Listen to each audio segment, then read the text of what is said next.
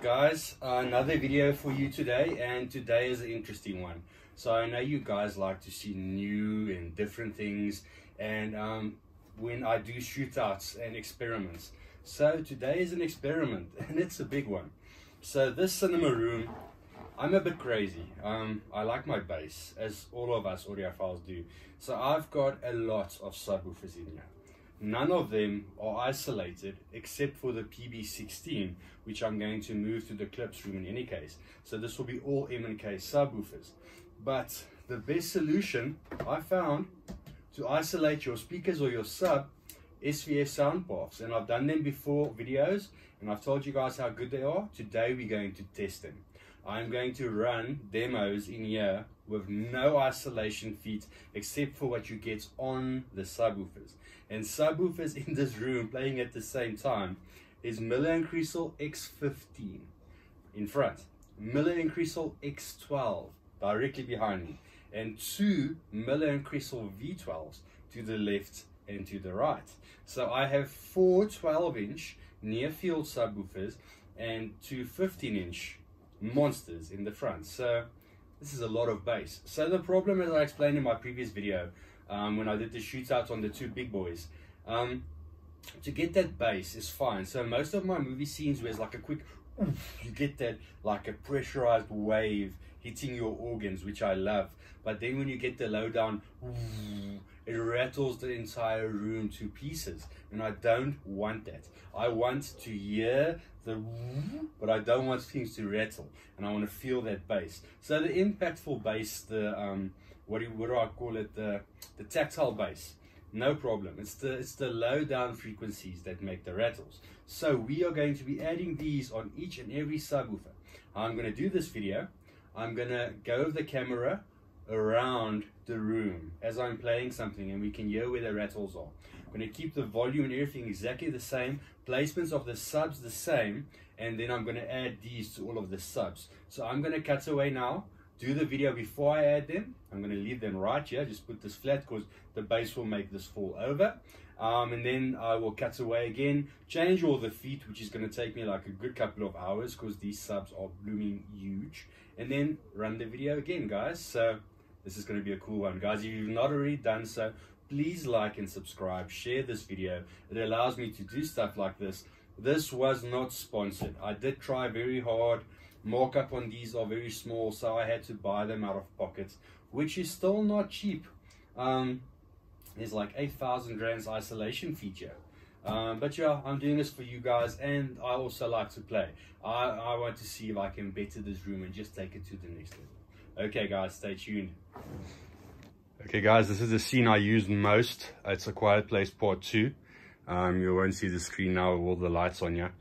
Um, where it's the beginning scene and they start move, they're in the pub and it starts moving around and that bass where it, where it like does its echolocation or whatever it does, it rattles the room. So my volume is on minus three um, I can go to reference, but this is normally where I listen. And this is where, so if I watch a movie, it will be on minus three.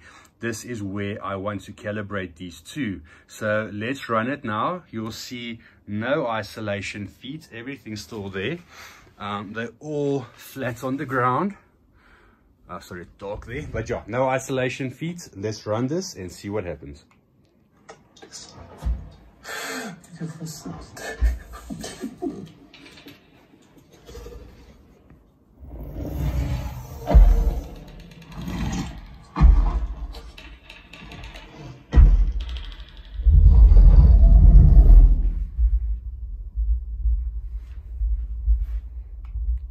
back again slightly, just get that low down. I'm actually going to up the volume a bit. Let's go to reference. I want to hear where these rattles are coming from. Somewhere around here.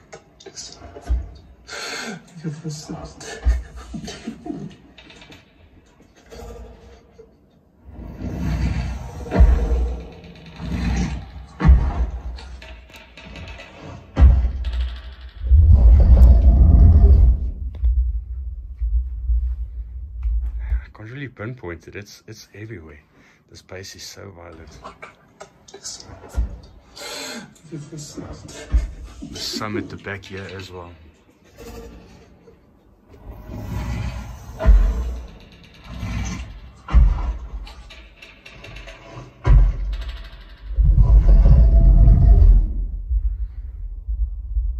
I can actually hear the windows and everything, guys. So let's isolate these subs. Let's do this test again. Okay, guys, as you can see it's dark there. Feet are on. We've already tested this now, so I know what the outcome is. I could not add feet on the V's because their feet are stuck on. So I've got on the X's, which I think is sufficient because they are the guys that are causing the vibrations. So again, as you can see, we are on reference volume. Let's play that same scene.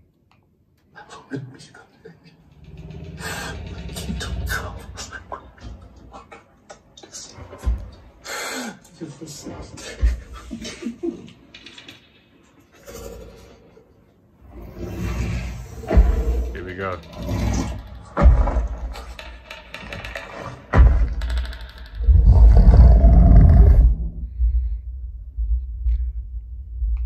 All but completely eliminated. Let me put this down.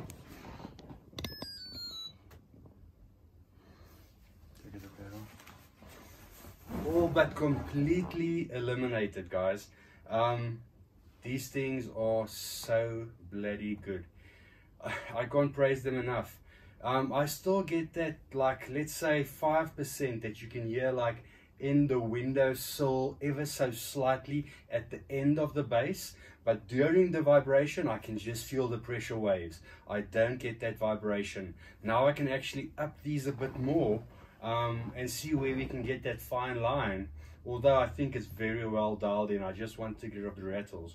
So one thing I need to mention on the Soundpath isolation feet, and I don't know why companies do this, and they did it on the SVSs. I had six sets, as you saw. The new ones, they don't supply different screws anymore for different types of subwoofers. Um, so they used to, that used to be a pro because you could use them on all subs. You have like four different sets and now you can't do that anymore. Um, so on the Klipsches, for instance, where I put them in the room next door, where I put them in the room next door, um, the screws didn't work. So I had to use the screws that came with the set. So luckily I could.